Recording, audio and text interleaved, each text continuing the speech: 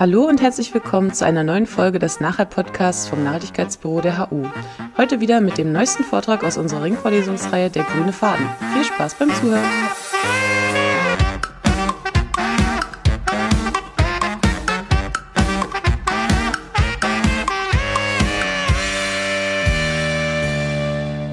Was schulden wir künftigen Generationen? Das ist der Titel meines Vortrags und auch der Titel ähm, meines Buchs. Und da geht es im Wesentlichen um diese Frage. Unsere Handlungen beeinflussen die Lebensumstände späterer Generationen. Und da stellt sich die Frage, inwiefern wir verpflichtet sind, moralisch verpflichtet sind, ihre Interessen in unserem heutigen Handeln zu berücksichtigen. Oder um jetzt vielleicht nochmal die letzte Vorlesung aufzugreifen, inwiefern das eine Frage der Gerechtigkeit ist.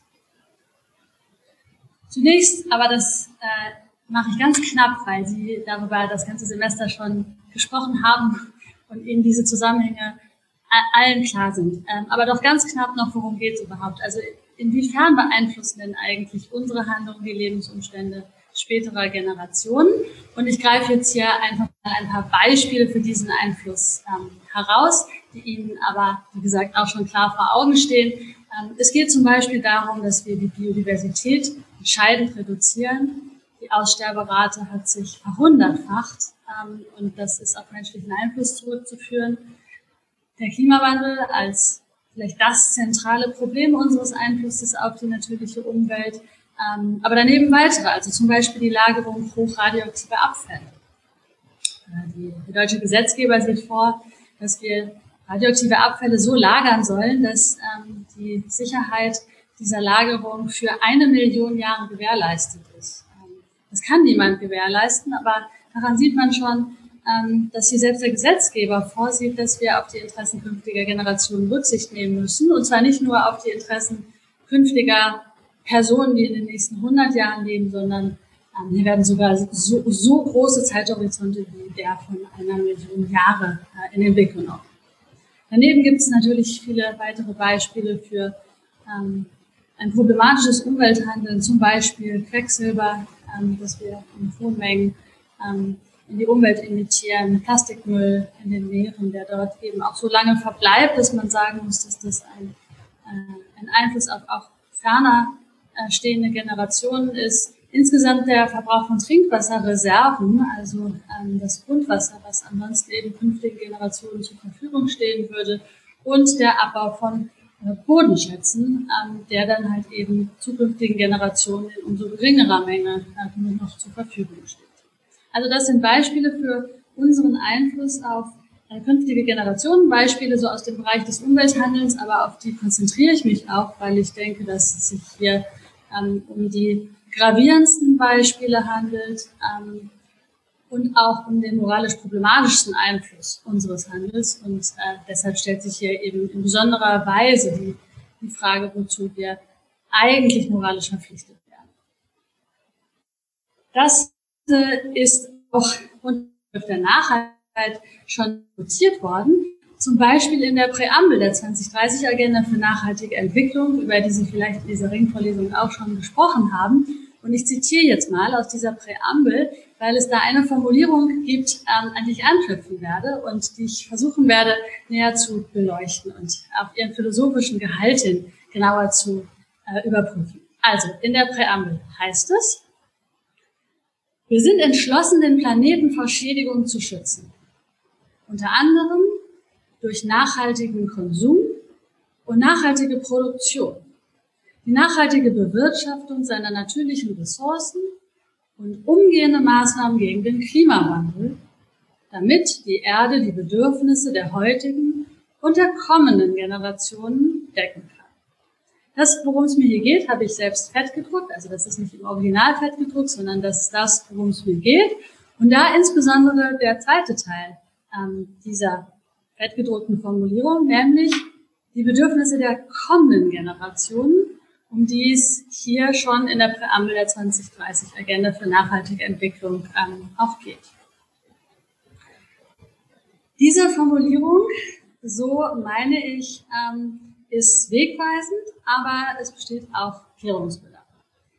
Man kann nämlich zum Beispiel fragen, ob es eigentlich nur darum geht, dass künftige Personen auch ihre Bedürfnisse decken können. Also zum Beispiel ihre Grundbedürfnisse. Oder nochmal anders gefragt, muss es also künftigen Generationen nur gut genug gehen, so dass die Grundbedürfnisse befriedigt sind? Und das liegt diese Formulierung irgendwie nahe. Oder es nicht eigentlich noch mehr verlangt, nämlich, dass es ihnen genauso gut geht wie uns. Aber wenn das verlangt ist, muss man da nicht vielleicht sagen, dass es ja künftigen Generationen zum Beispiel aufgrund des medizinischen Fortschritts ohnehin schon besser geht als uns und dass insofern vielleicht doch wieder gar nicht so viel von uns verlangt ist? Um diese Frage soll es also äh, heute gehen.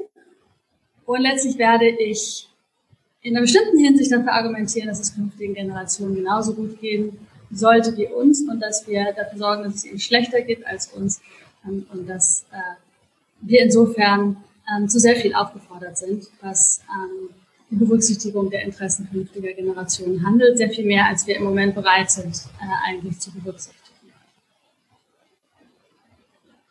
So, zunächst nochmal zu den Bedürfnissen. Also in der Formulierung, die ich gerade zitiert hat, wird gesagt, dass wir die Bedürfnisse künftiger Generationen mit im Blick behalten sollen. Und ich verstehe das so, dass wir auf die existenziellen Interessen künftiger Generationen mit gucken müssen, zum Beispiel ihr Interesse an Gesundheit und darauf mit achten müssen. Also wenn Sie nochmal an den Atommüll denken, ähm, der ähm, so gelagert werden soll, dass es nicht zum Austritt an Strahlung kommt, dann geht es um die Gesundheit künftiger Generationen und zwar auch der sehr fernstehenden. Was wir also tun sollen, ist zu verhindern, dass künftige Personen nicht mehr in der Lage sind, wichtige Bedürfnisse zu befriedigen. Zum Beispiel, weil sie unter sehr schweren Umständen äh, überhaupt noch an sauberes Trinkwasser gelangen können oder gar nicht mehr. Wir sollen somit verhindern, dass es ihnen nicht gut genug geht. Und das ist, denke ich, eine sehr nachvollziehbare, sehr zentrale und, ähm, wie ich denke, auch kaum kontroverse Forderung, dass wir mindestens dafür sorgen sollten, dass es künftigen Generationen gut genug geht. Diese Forderung, ähm, dass es anderen gut genug gehen muss und dass wir auch moralisch dazu aufgefordert sind, dafür zu sorgen, dass das so ist, ähm, die hat in der philosophischen Diskussion einen Namen ähm, und diese Position heißt dort Suffizientarismus, also von Suffizienz, genug. Und diesen suffizientaristischen Positionen sollen wir also dafür sorgen, dass andere Menschen gut genug leben können. Das sind zunächst mal Positionen, die gar nicht so sehr in der Zukunftsethik entwickelt worden sind oder in dieser äh, Nachhaltigkeitsdebatte, sondern Positionen, die in der politischen Philosophie entwickelt worden sind ähm, und die zum Beispiel ähm, bei der Frage danach, wie bestimmte gesellschaftliche Güter zu verteilen sind, eben das besonders in den Blick rücken, dass es allen gut genug gehen soll, zum Beispiel eben nicht gleich gut. Insofern richten sich diese suffizientaristischen Positionen gegen sogenannte egalitaristische Positionen, wo Gleichverteilung im Fokus steht. Und diese suffizientaristische Position ähm, ist gekennzeichnet durch eine positive These, aber eben auch durch eine negative These. Die positive These sagt, eben dies, dass wir dafür sorgen sollen, dass Menschen gut genug haben. Also zum Beispiel dafür, dass sie nicht in extremer Armut leben müssen. Negative These sagt aber, dass wir jenseits dessen, also wenn alle genug haben, keine weiteren Pflichten der Verteilungsgerechtigkeit mehr haben. Insbesondere, dass wir nicht dafür sorgen müssen, dass alle gleich viel haben oder dass es allen gleich gut geht. Also der Suffizientarismus richtet sich insofern gegen den Egalitarismus.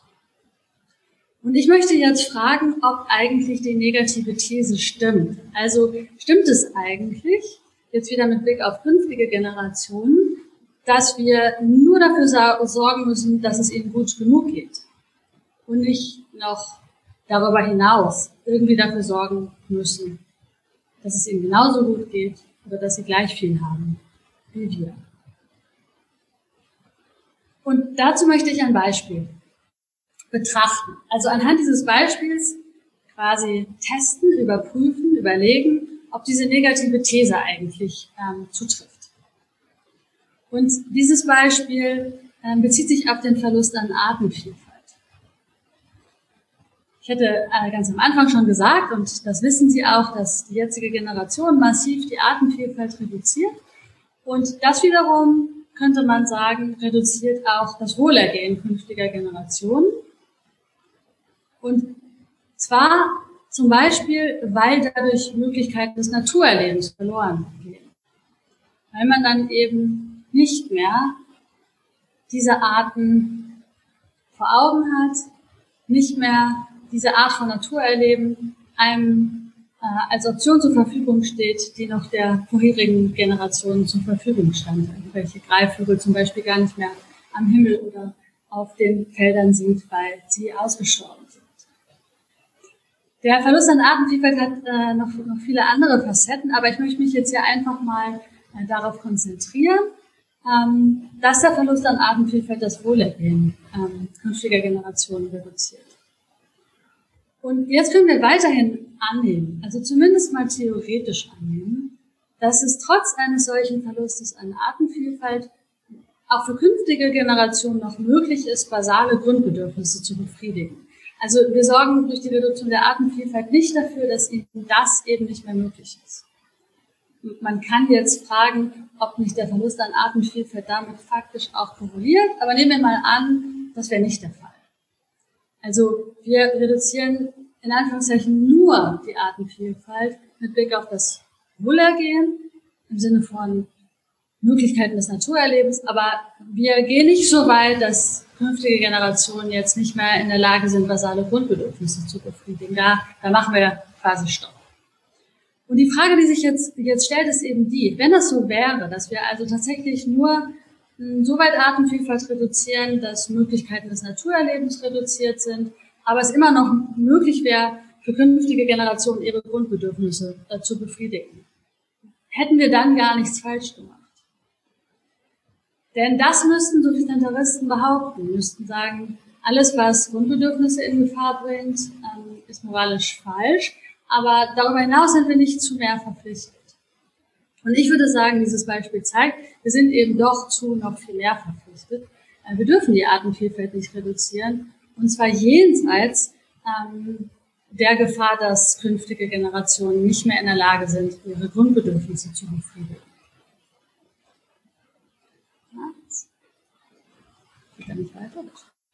Also, die Frage, die dieses Beispiel äh, meines Erachtens aufwirft, ist die, ob es eben unter diesen besonderen Umständen moralisch vertretbar wäre, dass wir die Artenvielfalt irreversibel reduzieren.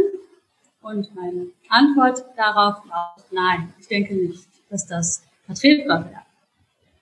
Und daraus ergibt sich dann ein Einwand gegen die negative These des Suffizentarismus.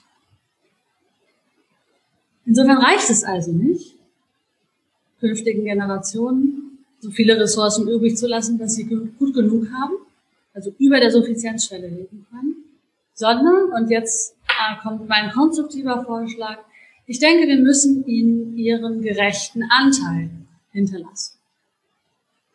Damit bewegen wir uns jetzt also Richtung Egalitarismus, weil ich eben diese negative These des Suffizientarismus zurückgewiesen habe. So, meine Position äh, die ich auch eben in meinem Buch unter anderem verteidigt habe, lautet so. Ähm, ich denke, dass wir den Planeten nicht in einem schlechteren Zustand hinterlassen dürfen, als wir ihn selbst übernommen haben.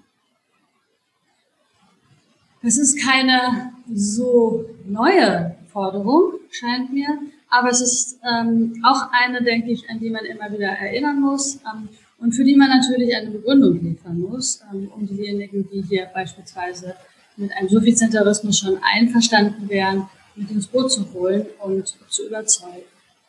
Also was ist jetzt meine Begründung für diese Position? Ich denke, man kann das äh, so begründen, ähm, dass man darauf verweist, dass es sich einfach nicht rechtfertigen lässt, künftigen Generationen den Planeten in einem schlechteren Zustand zu hinterlassen. Also man müsste irgendwie einen positiven Grund dafür anführen können, warum man sich hier selbst Vorteile für sich herausnimmt, die man anderen nicht zugesteht. Und mir scheint, dass es dafür keine Begründung gibt. Also wir können keinen guten Grund dafür anführen, dass wir hier also Vorteile für uns selbst herausnehmen, die sich dann nicht universell rechtfertigen lassen. In gewisser Weise ist das hier nur eine Beweislastverschiebung. Also ähm, man sagt, ähm, nennen wir doch mal einen guten Grund. Ähm, und in dem Moment, wo man diesen guten Grund ähm, nicht geliefert bekommt, äh, ist das hier ähm, die Position, äh, von der man ausgehen kann. Aber mir scheint das hier legitim zu sein, ähm, weil ich denke, dass man hier tatsächlich ansonsten äh, eine Rechtfertigung für eine Ungleichverteilung bräuchte, von der hier eben nicht zu sehen ist, wo die herkommen sollte. So, jetzt möchte ich ein paar kritische Rückfragen und auch Einwände gegen meine Position ähm, Ihnen vorstellen und dann können wir in der Diskussion vielleicht aber auch nochmal sehen, ob eigentlich meine Repliken auf diese Rückfragen und Einwände überzeugend sind. Also eine mögliche Rückfrage, die sich ähm, hier stellt, wäre die, warum man sich hier eigentlich auf die Verteilung natürlicher Ressourcen konzentrieren sollte. Also ich habe das hier so selbstverständlich getan, ähm, dass ich hier immer nur von natürlichen Ressourcen gesprochen habe. Man könnte ja, wenn man hier schon beim Egalitarismus ist, auch kulturelle Ressourcen mit in den Blick nehmen und sagen, ja, dass die eben gleich verteilt werden sollen oder dass man ähm, die Welt nicht mit Blick auf diese kulturellen Ressourcen in einem ähm, an diesen Ressourcen ärmeren Zustand weitergeben sollte. Und dazu würde ich erstmal sagen, ähm, spricht erstmal gar nicht unbedingt was dagegen, die auch mit in den Blick zu nehmen, aber es ist einfach nicht so dringend, die in den Blick zu nehmen, weil die Zerstörung kultureller Ressourcen weniger naheliegend ist. Und das liegt zum Beispiel daran, dass die sich in der Regel nicht aufbrauchen, wenn man sie nutzt, anders als ähm, bei den natürlichen Ressourcen. Also ich würde jetzt hier erstmal sagen, man kann auch über, über kulturelle Ressourcen kann man reden, aber mir scheint das nicht so vordringlich zu sein. So, damit komme ich aber zu einem äh, Einwand gegen meine Position, ähm, der, denke ich, ganz äh, wichtig ist und den ich auch ernst nehme. Ähm, denn man kann vielleicht einwenden, ähm, dass doch die Zerstörung der natürlichen Ressourcen dadurch irgendwie kompensiert werde, dass wir künftigen Generationen ja kulturelle Ressourcen zur Verfügung stellen.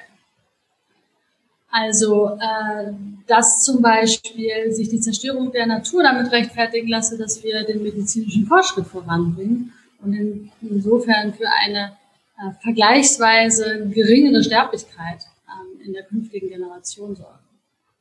Also könnte man nicht sagen, schön und gut, wir sollten den Planeten in keinem schlechteren Zustand hinterlassen, aber wenn wir das mal äh, so ein bisschen ähm, ganzheitlicher betrachten, dann hinterlassen wir doch auch viel Gutes und vielleicht können wir damit vielleicht sogar rechtfertigen, dass wir eben an einigen Stellen ähm, die Sache auch zu, zu Ungunsten künftiger Generationen verschieben. Dieser Einwand kommt manchmal auch ein bisschen in einer anderen Form daher, ähm, in dem gesagt wird, das Diskontieren ähm, äh, in den äh, ökonomischen äh, Modellen, die ähm, berechnen, wie groß wir investieren müssen in den Klimaschutz, ließe sich damit rechtfertigen, dass es künftigen Generationen ähm, aufgrund des zu erwartenden fortgesetzten Wirtschaftswachstums ohnehin besser ginge als uns. Also das ist ein bisschen ähnlicher Einwand hier aus einer eher ähm, ökonomischen Richtung. Und dieser Einwand ist nicht so selten und insofern denke ich, muss man den auch ernst nehmen. So was ähm, kann man da sagen? Bevor ich meine Replik darauf Ihnen vorstelle, möchte ich den Einwand noch mal ein bisschen zuspitzen. Also man könnte behaupten, dass es zukünftigen Generationen doch durch unser Handeln, also zum Beispiel durch die Abholzung des Regenwaldes, aber eben auch gleichzeitig den medizinischen Fortschritt, insgesamt besser geht als es ihnen ohne unser Handeln, also ohne die Zerstörung des Regenwaldes, aber auch ohne eine bessere medizinische Versorgung ergangen wäre. So, was ist jetzt davon zu halten? Wie kann man diesem Einwand ähm, begegnen? Ich würde denken, es gibt zwei mögliche Repliken. Die erste Replik läuft so, dass man bestreiten kann, dass das stimmt, dass es künftigen Generationen tatsächlich insgesamt besser geht als uns. Und die zweite Replik läuft so, dass man sagt, ähm, selbst unter der Annahme, dass es künftigen Generationen insgesamt besser geht, ist es aber nicht moralisch erlaubt, sie in einem ganz bestimmten Bereich, also zum Beispiel im Bereich Biodiversität, schlechter zu stellen. Und diese beiden Repliken möchte ich jetzt also der Reihe nach durchgehen. Also zunächst zur ersten Replik. Ich denke, ähm, es spricht einiges dafür, dass man nicht so einfach behaupten kann, künftigen äh, Generationen wird es ohnehin besser gehen als uns. Also zum einen ist es so, dass viele künftige Personen so empfindlich unter den Folgen des Klimawandels leiden werden, ähm, dass auch die Verheißung des medizinischen Fortschritts diesen Verlust nicht aufwiegen können. Und weiterhin, und das hängt hier mit dem ersten Punkt schon zusammen, müssen wir berücksichtigen, dass unser Handeln vielleicht nicht alle Menschen beeinträchtigt, aber doch einige und die dann so stark, dass man sagen muss, aus einer moralischen Perspektive sind das auch diejenigen, um die es hier eigentlich geht. Also ähm, diese vermeintlichen Vorteile, die wir ähm, in die Welt bringen, sind nicht gleichmäßig verteilt ähm, und die Nachteile sind dann das, worauf sich der Fokus richten soll. Und schließlich, und das betrifft jetzt nochmal diese ökonomischen Überlegungen, ähm, muss man, denke ich, sagen, dass selbst bei denjenigen Personen, die ökonomisch besser dastehen als wir, also wieder fortgesetztes Wachstum vorausgesetzt, überhaupt nicht klar ist, dass die dadurch auch ein besseres Leben haben als wir. Jedenfalls nicht, wenn der Ausgangspunkt ähm, zum Beispiel ähm, unser eigener ökonomischer Status ist. Warum nicht? Ich denke, weil man hier einige äh, kritische Rückfragen stellen kann, ähm, die einen Hinweis darauf geben, dass ähm, das vermutete Wachstum nicht unbedingt zu einem besseren Leben beiträgt. Jedenfalls mal nicht in den Industrieländern. Und diese Rückfragen stelle ich jetzt einfach als rhetorische Fragen ähm, und ähm, hoffe einfach darauf, dass Sie sozusagen den Einwand, der dahinter steht, hinter diesen rhetorischen Fragen, ähm, ähm, so so plausibel finden, dass ich da jetzt nicht jeweils noch eine größere Begründung nachschieben muss. Also erste Frage, trägt es wirklich zu einem besseren Leben bei, wenn künftige Personen mehr konsumieren können, ihr Trinkwasser aber dafür mit Quecksilber belastet ist? Trägt es wirklich zu einem besseren Leben bei, wenn künftige Personen mehr konsumieren können, die Temperaturen jedoch schwer erträglich geworden sind? Und schließlich, ist es wirklich kein Verlust an Lebensqualität, wenn der Wunsch nach einem echten Naturerleben mangels echter Natur zunehmend verloren geht? Und man sich den Vergnügungspark dann vielleicht leisten kann, aber gar keinen Sinn mehr davon hat, was eigentlich ähm, die Alternative gewesen wäre. Also ich würde diese Frage jeweils mit Nein beantworten und insofern sagen, es ist auch keineswegs klar, ähm, dass hier ein ausgeprägter Zusammenhang zwischen Wachstum und gutem Leben besteht. Jetzt zur zweiten ähm, Variante des, äh, meiner Replik auf diesen äh, eben genannten Einwand. Also nehmen wir mal an, dass es jetzt tatsächlich so ist, dass wir künftigen Generationen insgesamt doch irgendwie etwas Gutes tun. Zum Beispiel dadurch, dass wir den medizinischen Fortschritt voranbringen und der medizinische Fortschritt so wichtig ähm, ist mit Blick auf das Wohlergehen künftiger Generationen, ähm, dass wir ihnen damit irgendwie insgesamt etwas Gutes tun. Selbst wenn das also so wäre, dann würde ich sagen, und das ist jetzt die zweite Variante meiner Replik, dann liegt eben trotzdem noch keine moralische Kompensation für die Umweltzerstörung vor. Also nehmen wir mal an, ich würde meine Freundin ähm, belügen und sie beschwert sich darüber, dass ich sie angelogen habe und ich würde dann sagen, ja gut, gut, ich habe dich zwar angelogen, aber das wird doch dadurch kompensiert, ähm, dass ich dir das letzte Mal was zum Geburtstag geschenkt habe.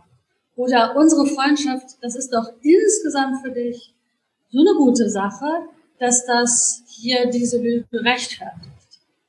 Und in diesen äh, Hinsichten würden wir normalerweise eben nicht sagen, dass eine moralische Verfehlung, also hier die Lüge, ähm, dadurch kompensiert wird, dass wir an anderer Stelle ähm, irgendwie Gutes tun. Und mir scheint, dass das auch in diesem Kontext ähm, so ist, dass eben das eine das andere nicht rechtfertigt. Das Einzige, was man hier vielleicht sagen könnte zu seiner Verteidigung, ist, dass diese guten Dinge eben nicht zu haben sind ohne die schlechten Dinge, ohne die Zumutung. Also kein medizinischer Fortschritt ohne massive Umweltzerstörung und ich wollte wohl lieber medizinischen Fortschritt, oder? So könnte man argumentieren, aber ähm, ich denke, das wäre der Sache nach ähm, nicht angebracht, weil es ja möglich wäre, den Verbrauch natürlicher Ressourcen äh, und die damit verbundene Erzeugung zivilisatorischer Errungenschaften, wie etwa den medizinischen Fortschritt, viel stärker voneinander zu entkoppeln. Also es stimmt eben nicht, dass das eine nicht ohne das andere zu haben ist. Und wir sollten dann, moralisch gesehen, eben auch äh, den Verbrauch natürlicher Ressourcen ähm, erheblich einschränken beziehungsweise die Zerstörung ähm, des Planeten beenden. Jetzt gibt es allerdings einen weiteren Einwand, ähm, der in der philosophischen Diskussion zu solchen ähm, egalitaristischen Positionen, wie ich sie vertrete, eben vorgebracht worden ist und der diese ziemlich ähm, in Schwierigkeiten bringt. Und der Einwand lautet so. Also ich habe ja vorgeschlagen, ähm, dass alle Generationen ähm, die den Planeten in einem gleich guten Zustand weitergeben sollen. Und das heißt dann ja, dass alle die gleiche Menge nicht regenerativer Ressourcen nutzen können sollten. Das wiederum läuft aber darauf hinaus, dass niemand mehr irgendeinen Teil dieser Ressourcen nutzen kann. Und das ist eher irgendwie absurd. Also eine Gleichverteilung ähm, von einem Gut, was von dem in beliebig langen Zeitspannen alle gleich viel haben sollen ähm, und was aber nur in begrenzter Menge zur Verfügung steht, müsste irgendwie darauf hinauslaufen, dass niemand etwas bekommt. Und das scheint irgendwie absurd zu sein. So, warum kann man trotzdem hier eine solche egalitaristische Position vertreten? Ich denke, hier sind mehrere Repliken auf diesen Einwand wieder möglich. Also einmal kann man fragen, von welchen nicht regenerativen Ressourcen in diesem Einwand eigentlich die Rede ist. Äh, man könnte zum Beispiel sagen, hier ist von den fossilen Brennstoffen die Rede. Und es wäre dann irgendwie absurd, wenn die niemand mehr nutzen darf. Aber da kann man schon mal sagen, es ist nicht absurd, dass die niemand mehr nutzen darf. Äh, Kohle zum Beispiel sollte ohnehin ja niemand mehr nutzen. Äh, die sollte ja gerade im Boden bleiben und der Grund ist hier, dass ähm, äh, die äh, globale Erwärmung uns weiter fortschreitet. Also insofern kann man da schon mal sagen, ähm, es ist vielleicht gar nicht so absurd, dass niemand die nutzen darf. Ähm, die, diesen Punkt kann man allerdings vielleicht nicht so gut machen mit anderen ähm, Dingen, wie zum Beispiel den seltenen Erden, also bestimmte Ressourcen, die eben nicht genutzt werden, indem man sie ver verbrennt, sondern nur verbaut. Ähm, und da würde man auch wieder sagen müssen, die darf dann halt niemand mehr nutzen, damit es irgendwie gerecht zugeht. Und dazu würde ich sagen, das ist schon auch ein ernstzunehmender Einwand. Was man hier tun könnte, wäre irgendwie zu sagen, wir müssen das eben doch nicht bis in alle Ewigkeit garantieren, dass alle gleich viel von diesen Ressourcen haben, ähm, sondern man kann irgendwie darauf spekulieren, dass sehr weit in der Zukunft lebende Generationen vielleicht bestimmte Ressourcen dann nicht mehr brauchen. Also vielleicht zum Beispiel die seltenen Erden, weil die ihre Handys anders bauen oder überhaupt gar keine Handys mehr haben. Aber, und das möchte ich gleich dazu sagen, ich denke, man sollte mit, mit dieser Art von Überlegung sehr vorsichtig sein und erstmal immer davon ausgehen, dass künftige Generationen ähm, dieselben Dinge brauchen oder ähm, äh, eigentlich gut gebrauchen könnten wie wir. Ähm, und insofern denke ich, ähm, dieser zweite Punkt ähm, soll auf keinen Fall den, wie ich finde, berechtigten Kurs des 100% Recyclings und Credit to Credit unterwandern. Also ich würde sagen, eigentlich müsste man sagen, dass äh, wenn, in dem Moment, wo keine Anhaltspunkte dafür bestehen, dass zukünftige Generationen irgendetwas nicht mehr brauchen, was wir aber brauchen, sondern genauso brauchen wie wir, dann muss man dem halt, ähm, muss man diese Rohstoffe einfach einem vollständigen Recycling zuführen. Eine Sache kann allerdings hier vielleicht noch ein bisschen die Sache entschärfen.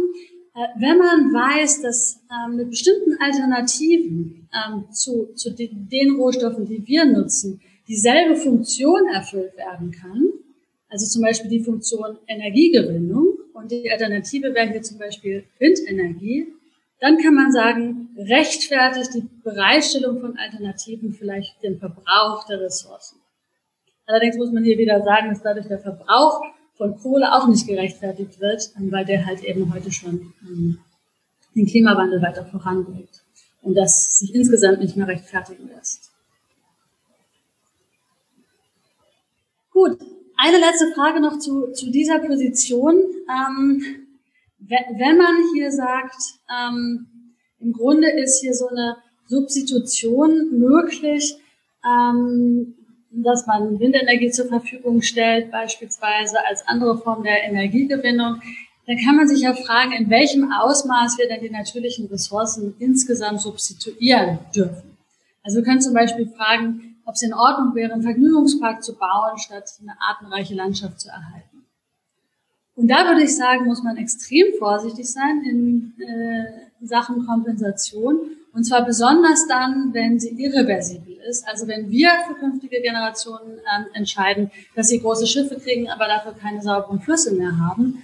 Ähm, oder dass sie eben einen Vergnügungspark bekommen, aber dafür die artenreiche Landschaft draufgegangen ist. Ähm, und eine Begründung dafür, warum das gerade, wenn es irreversibel ist, so problematisch ist, ethisch so problematisch ist, ähm, lautet so, dass künftige Generationen eben selbst entscheiden können sollten, was ihnen wichtiger ist. Und die Irreversibilität macht eben diese Art von Entscheidungsfreiheit zunichte. So, was sollen wir denn jetzt tun? Ähm, fragen Sie sich wahrscheinlich schon die ganze Ringvorlesung und frage ich mich auch über den Vortrag hinaus. Trotzdem hier einfach mal so ein bisschen Systematisierung. Also zwei grundsätzliche Optionen. Das eine wäre unser individuelles Handeln verändern und das andere wäre die Strukturen und institutionellen Rahmenbedingungen ändern, innerhalb derer sich das individuelle Handeln abspielt. Und was ich jetzt tun möchte, ist, möchte, möchte zeigen, dass es sehr starke Verbindungen gibt zwischen A und B. Vielleicht ein bisschen stärker als manchmal so behauptet, wenn Leute sagen, es kommt doch nur auf B an und wir sollen mal weggehen von diesem A, von diesem ineffizienten A. Ich denke nämlich, hm, die Verbindung zum Beispiel darin besteht, dass Individuen, die grundsätzlich bereit sind, ihre eigenen Konsumentscheidungen ethisch zu, zu überdenken, also hier auch individuell moralisch ansprechbar sind, ähm, dass die auch offener sind für Vorschläge der politischen Steuerung, die dann wiederum in solche Konsumentscheidungen eingreifen. Also wer zum Beispiel sich daran gewöhnt hat, seinen eigenen Fleischkonsum kritisch zu hinterfragen, ähm, der ist dann auch offen für beispielsweise Vorschläge für den Veggie Day, ähm, weil der ähm, dazu führt, dass andere das auch überdenken oder weil sie dafür, dazu führt, dass man damit nicht allein ist, dass das eigene Handeln nicht länger so ineffektiv ist und so weiter. Also ich denke, da gibt es eine klare Brücke von A zu B. Außerdem gibt es diese Brücke, weil das individuelle Handeln ja gerade darin bestehen kann, sich politisch zu engagieren. Also man kann sich individuell dafür einsetzen, dass bestimmte gesellschaftliche Rahmenbedingungen geändert werden. Was jetzt aber noch offen ist und auch, ähm, denke ich, philosophisch wirklich schwer zu beantworten ist, ist jetzt dies. Warum sollen wir denn eigentlich unsere individuellen Emissionen reduzieren? Oder warum sollen wir unsere individuellen Ernährungsgewohnheiten umstellen? Warum sollen wir individuell weniger kompensieren? Also warum A, wenn A überhaupt gar keinen sichtbaren Effekt hat? Also wenn unser individuelles Handeln zum Beispiel gar nichts am Klimawandel ändert. Warum sollten wir das trotzdem dann ähm, berücksichtigen? Und da möchte ich Ihnen ganz kurz eine Antwort ähm, präsentieren eines Philosophen, John Bloom, in einem äh, ich finde, ähm, sehr schönen Buch Climate Matters. Und Bloom sagt jetzt auf diese Frage folgendes. Er sagt, wir sollen ähm, zum Beispiel weniger, weniger fliegen oder wenn wir fliegen, das, das kompensieren, ähm, weil unsere Treibhausgasemissionen unrecht sind, weil sie anderen Menschen schaden. Und jemandem zu Schaden fällt normalerweise damit zusammen, ihm ein Unrecht anzutun. Und ähm, insofern ist es Unrecht, dass wir zumindest unter bestimmten Bedingungen, aber die liegen hier vor. Welche Bedingungen sind was? Sind das nun der entstehende Schaden? Ist das Ergebnis von etwas, das wir tun? Also wir waren es. Wir sind es, die diesen Schaden zufügen. Außerdem muss man sagen, dass der Schaden gravierend ist. Und dass der Schaden auch kein Unfall ist. Also wir wissen ja, dass wir diesen Schaden zufügen. All das sorgt dafür, dass unsere individuellen Emissionen ungerecht sind. Es erfolgt auch keine Kompensation für den Schaden, fügt er hinzu. Das würde es vielleicht ein bisschen besser machen. Und noch schlimmer, wir profitieren sogar selbst für den, von den für andere schädlichen Emissionen. Und die ganze Sache ist auch nicht reziprok. Und darüber hinaus könnten wir es auch noch leicht unterlassen zu schreiben. Also wir haben es hier mit einem schweren moralischen Vergehen zu tun. So Bloom. Stimmt das? Eine Sache ist hier problematisch, nämlich Blooms folgende These. Bloom meint, dass der entstehende Schaden etwas ist, das wir, äh, das Ergebnis von etwas ist, das wir tun. Also wir sind's, die diesen Schaden zufügen. Und das ist wichtig, damit man hier von dieser moralisch problematischen Schädigung sprechen kann. So, was ist jetzt daran problematisch? Problematisch daran ist, dass es dagegen einen Einwand gibt, ähm, der in der philosophischen Diskussion zum Beispiel von Synod Armstrong vorgebracht worden ist, aber den man, glaube ich, auch am Küchentisch manchmal hört, in der WG vielleicht. Problematisch daran ist, dass, dass es fraglich ist, ob wir mit unseren individuellen Emissionen wirklich schaden. Also man kann ja sagen, dass man selbst die Erde einfach kein Grad wärmer macht und dass man sie nicht mal ein, eine Millionstel eines Grades wärmer macht. Erstens. Und zweitens, dass weniger als ein, eine Millionstel Grad Erwärmung halt auch niemandem schadet. Und ich denke, so reden wir uns auch ziemlich oft heraus. Wir sagen, naja, es hat halt einfach eben keinen Effekt, wenn wir auf die nächste Flugreise verzichten. Und was keinen Effekt hat, kann auch nicht moralisch von uns erwartet werden. Also können wir es auch gleich lassen. Also das ist der Einwand, mit dem hier eine solche Position konfrontiert ist. Und zum Abschluss dieser, äh, dieses kleinen Vortrags möchte ich äh, Ihnen zwei argumentative Strategien ähm, noch ans Herz legen, mit, der Sie, mit denen Sie diesen Einwand parieren können, wenn Sie ihn parieren wollen. Erstmal noch kurz, das, worum es hier geht, heißt in der philosophischen Diskussion das Problem der unmerklichen Unterschiede. Ähm, und die Fälle von solchen unmerklichen Unterschieden, die sind problematisch, weil jede der beteiligten Personen scheinbar so argumentieren kann, dass sie sagt, naja, es macht doch keinen Unterschied, ob ich eine bestimmte Handlung X, zum Beispiel nach Bali fliegen, ausführe oder nicht. Und weil das keinen Unterschied macht, habe ich auch keinen Grund, den Flug nach Bali zu unterlassen. So, was sagt man so jemandem? Oder hat diese Person vielleicht einfach recht. Hier gibt es jetzt zwei Lösungen für das Problem, die auch beide in der philosophischen Diskussion vorkommen, ähm, von unterschiedlichen Autorinnen. Die erste Lösung besteht darin, ähm, zunächst mal zu bestreiten, dass es sich bei den betreffenden Fällen tatsächlich um Fälle handelt, in denen der oder die Einzelne keinen moralisch relevanten Unterschied macht. Also man sagt, stimmt gar nicht, dass der individuelle Flug nach Bali keinen Unterschied macht. Was tut man, um das ähm, zu zeigen? Man könnte versuchen zu zeigen, dass es zumindest eine genügend große Wahrscheinlichkeit dafür gibt, dass meine individuelle Handlung wirklich einen Unterschied macht. Zum Beispiel, weil mein Flug nach Bali möglicherweise dazu führt, dass ein Kipppunkt überschritten wird, der dann tatsächlich messbaren Schaden nach sich zieht. Also das wäre eine Möglichkeit. Man bestreitet, dass es äh, gar nicht stimmt, dass meine individuelle Handlung einen Unterschied macht.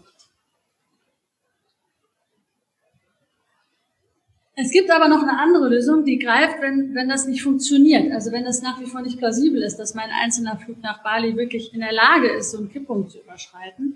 Und diese zweite Lösung ähm, geht dann davon aus, dass es also stimmt, dass die Einzelhandlung keinen Unterschied macht. Man akzeptiert, dass die keinen Unterschied macht. Und versucht aber trotzdem zu zeigen, dass es für den Einzelnen oder für die Einzelnen Gründe gibt, die Handlung zu, zu unterlassen. Also man sagt, stimmt, in gewisser Weise ist mein Flug folgenlos. Der verursacht keinen Schaden. Aber es ist trotzdem moralisch falsch zu fliegen. Und diese Lösungsstrategie 2 verweist jetzt ähm, oder ist möglich vor dem Hintergrund einer ähm, eher kantischen Argumentationsweise. Ähm, Lösungsvorschlag 1 funktioniert auch für Konsequenzialisten. Ähm, Sie müssen jetzt gar nicht unbedingt wissen, was sich hinter diesen Positionen Konsequenzialismus ähm, und Nicht-Konsequenzialismus verbirgt. Aber ich will Ihnen ganz zum Schluss wenigstens noch mal einmal sagen, wie man, wie man hier aus einer kantischen Perspektive argumentieren könnte. Und zwar so. Also, bei Kant geht es um die Prüfung von Maximen mit Hilfe des kategorischen Imperativs. So, und was eine Maxime, also insgesamt, das brauchen Sie jetzt gar nicht zu wissen, aber ich schlage Ihnen jetzt mal die Maxime vor, die hinter meinem Bali-Flug steht. Und zwar die. Ich sage, wann immer ich mich gestresst fühle, fliege ich nach Bali, um mir die Korallen anzusehen. Meine Maxime ist die. So, und der kategorische Imperativ testet unsere Maximen und würde daher die folgende Frage anregen. Ich soll mich fragen, wenn ich den kategorischen Imperativ hier anwende, kann ich diese Maxime auch in einer Welt haben, in der alle so handeln würden? So, die ehrliche Antwort darauf lautet, nein. Denn in einer Welt, in der alle derartige Flugreisen tätigen, würde es gar keine Korallen mehr geben. Anders formuliert, genehmige ich mir hier offenbar eine Ausnahme für mich, die ich gar nicht allen anderen zugestehen kann. Und das ist gerade die Pointe der kantischen Position, ähm, ist moralisch nicht vertretbar. Also kann man hier Strategie 2, selbst wenn man zugibt, dass das eigene Handeln gar keine schädlichen Folgen hat, trotzdem dafür argumentieren, dass der Flug nach Bali moralisch problematisch ist. Was man allerdings auch machen kann, ähm, und das greift das Problem der Ineffektivität auch wirklich noch stärker auf als jetzt diese kantische Position.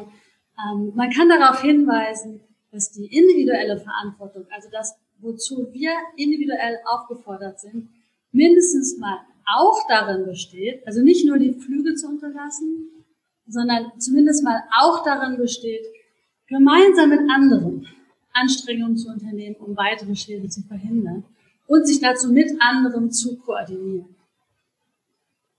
Okay, ein Beispiel dafür ist, eine solche Ringvorlesung zu organisieren und dafür möchte ich den OrganisatorInnen herzlich danken und überhaupt Ihnen allen erstmal für die Aufmerksamkeit danken. Und jetzt bin ich gespannt auf Ihre Fragen und Einwände.